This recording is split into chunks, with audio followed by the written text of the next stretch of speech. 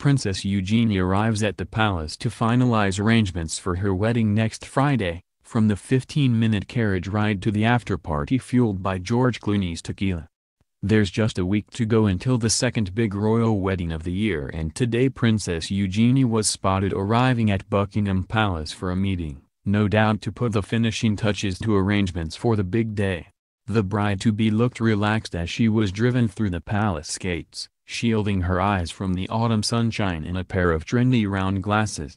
She took advantage of the unseasonably warm weather to sport a floaty black dress by AllSaints with cutouts at the shoulders. The princess, 28, looked fresh-faced and glowing and wore her auburn locks loosely tied back from her face. By this time next week, Eugenie will be a married woman after exchanging vows with her fiancé at 11 a.m. at St. George's Chapel in Windsor, in front of their families and a rumored host of celebrity guests. Princess Beatrice will undoubtedly accompany her sister down the aisle as a bridesmaid, while Prince George and Princess Charlotte are also rumored to be playing a starring role. Following the exchange of vows, they will carry out a short carriage procession to greet well-wishers before arriving back at Windsor Castle for a lunch hosted by the Queen. In the evening, Prince Andrew is said to be throwing a lavish party at the Royal Lodge, Windsor, with a drinks menu curated by the groom, including free-flowing tequila from George Clooney's Casamigos, the spirits brand Jack works for. Here Femail reveals the ultimate guide to everything you need to know about the nuptials that could even outdo Harry and Meghan's. The ceremony. The happy couple will exchange vows in front of the Dean of Windsor, the right Reverend David Conner. Eugenie appears to have paid a sweet tribute to her parents, the Duke and Duchess of York, by choosing the Archbishop of York John Sentamu to lead the prayers. Princess Eugenie is due to arrive at St. George's Chapel at 11 a.m. and, Although it's tradition for the bride to be fashionably late, royal weddings run to a strict schedule.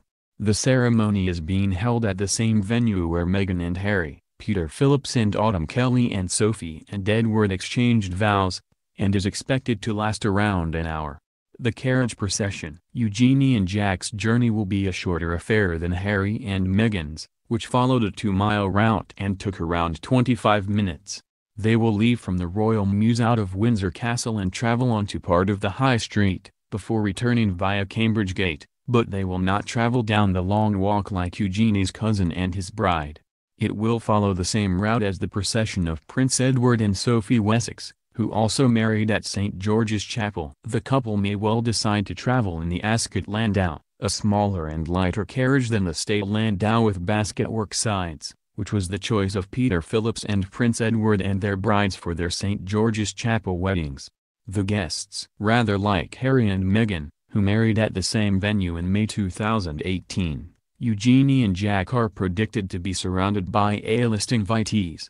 There's expected to be some crossover of social circles with Amal and George Clooney, James Blunt, Cressida Bonas, Elton John and the Beckhams all tipped to attend their second royal nuptials of the year. But Eugenie's guest list is said to have an extra sprinkling of edginess in the form of a younger, cool crowd that includes pop singer Ellie Goulding, Cara Delevingne, and Suki Waterhouse, and modeling royalty Kate Moss and Cindy Crawford.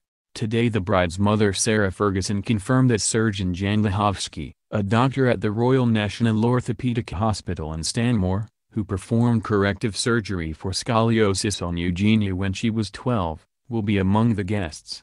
The consultant orthopedic spinal surgeon also fitted two 1.5-inch screws to Eugenie's neck in the 8-hour procedure, which help her to stand straight to this day.